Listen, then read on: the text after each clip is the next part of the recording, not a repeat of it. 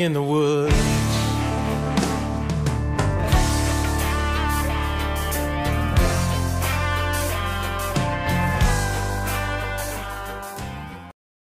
Morning guys, I'm Dave Canterbury at the Pathfinder School. Layla Bug and I are going to go out this morning and walk you guys around and show you some of the birds and how we're doing with our birds out here. Walk you around some of the pens and show you what's going on and show you our new hatch of babies. Layla Bug's excited. We got some baby pheasants and we got some baby guinea fowl for her to chase around and uh, we're going to take you on a little tour so stay with us and we'll be right with you. Now let's take a.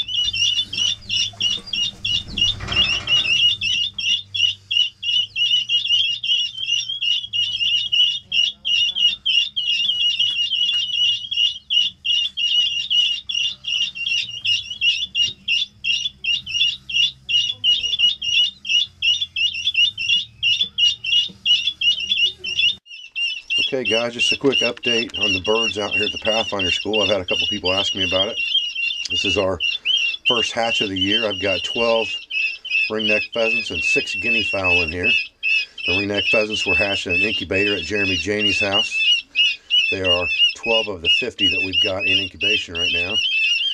And the guinea fowl were hatched out actually by their parents up on the hill we caught them running through the high grass yesterday and brought them into the breeding pen here with the little ringnecks. And you can tell the difference between the ring necks and the guineas.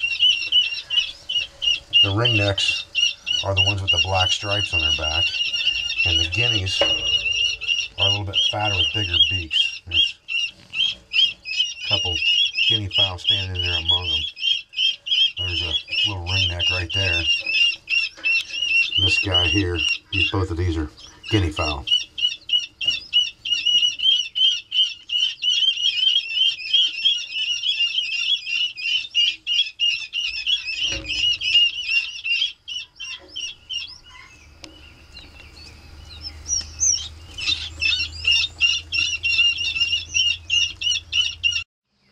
There's two of our adult guinea fowl right there.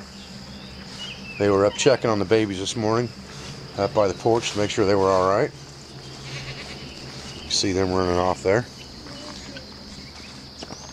Up here in the grass, we've got six ducklings hanging out that we raised from babies.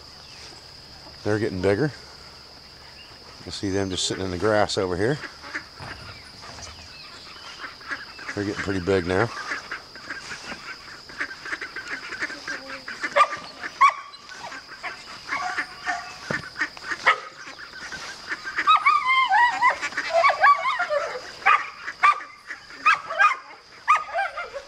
You can see up here, my old hound dog going crazy up here. He's got some chickens right here. We've got some Americana chickens right here hanging out underneath the tree off of those.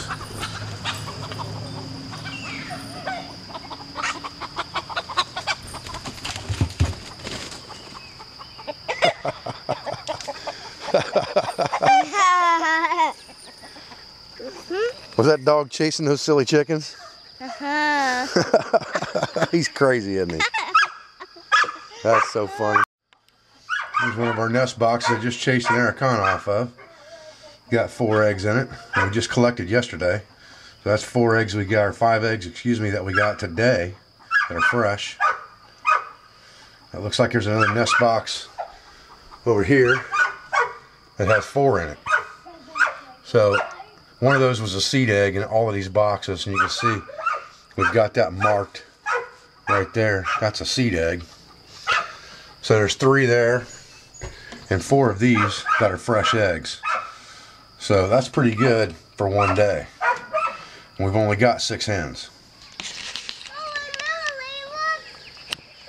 Okay, here's six more chickens that we recently released that we had in the brooder for a while. We bought them as chicks, as poults. Now they're loose out here running around, growing up. Okay, here we are inside our ringneck pen. There's our cockbird right there. You see what we got in here today. We've got five gallon buckets that we're using for nest boxes. It looks like there's one egg in that nest. The other two don't have anything in them, and there's a whole brood of eggs in that nest. Looks like there's at least one, two, three, four, five, six, seven, eight in that nest.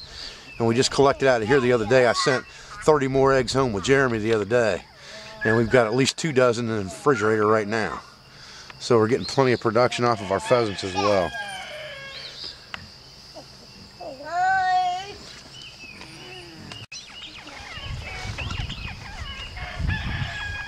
There's one of those pheasants out here running around loose. Back there behind the bucket garden. Now she's getting ready.